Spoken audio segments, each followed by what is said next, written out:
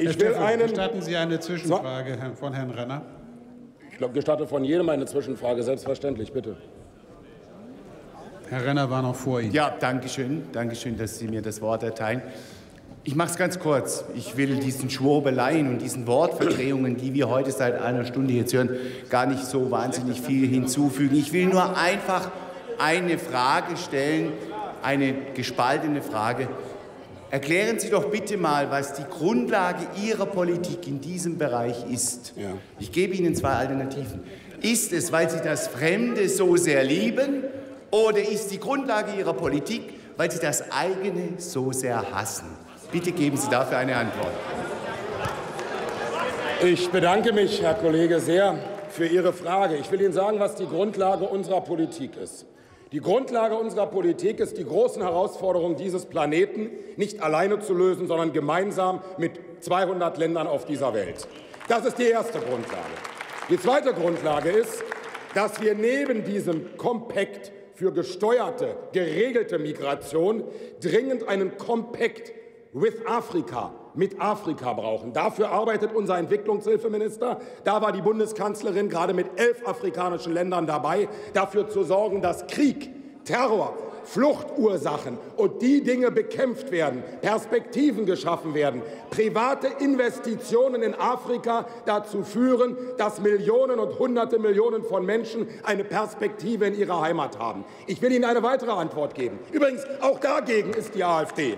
Die AfD ist auch dagegen, dass wir den Entwicklungshilfeetat ein weiteres Mal erhöhen, um Perspektiven und Investitionen in diesen Ländern durchzuführen. Die AfD ist auch gegen humanitäre Hilfe. Wenn Menschen richtig im Dreck sind, dann gehen Sie zu Herrn Assad und kriechen ihm in den Hintern, statt sich für die humanitäre Hilfe dieser Menschen einzusetzen. Auch das ist unsere Politik. Ich nenne Ihnen den nächsten Punkt. Wir sind deshalb in einer ganz schwierigen Abwägung. Jeder einzelne Abgeordnete in einer ganz schwierigen Abwägung sind wir deshalb eben auch für Auslandseinsätze der Bundeswehr, die Sie ablehnen, um Krieg und Terror in diesen Regionen zu bekämpfen und dafür zu helfen, dass die Menschen in ihrer Heimat sicher wohnen können. Und meine Damen und Herren, ja, ja, wir sind für bilaterale Abkommen.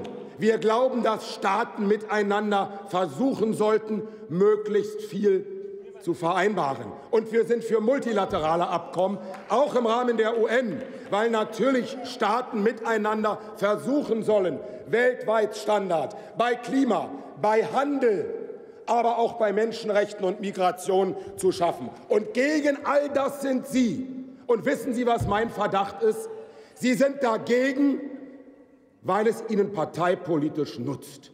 Weil am Ende, wenn Sie das alles ablehnen, sich mehr Menschen auf den Weg nach Europa machen, sich mehr Menschen auf den Weg nach Deutschland machen. Und das dazu führt, dass Sie Ihre dumpfen Vorurteile weiter bedienen können und parteipolitisch davon partizipieren wollen. Das ist die eigentlich niederträchtige Schweinerei Ihrer Politik. Und Und ich glaube, dass die Mehrheit der Menschen, insofern ist es gut, dass wir heute darüber reden, diese Politik nicht will. Und dass wir alle offensiver darüber reden müssen. Und wir hier im Deutschen Bundestag mit Ihnen streiten müssen. Ja, mit Ihnen streiten müssen. Und Sie Ihre Zwischenfragen stellen sollen. Denn auch Ihre Frage war entlarvend. Auch Ihre Frage war entlarvend.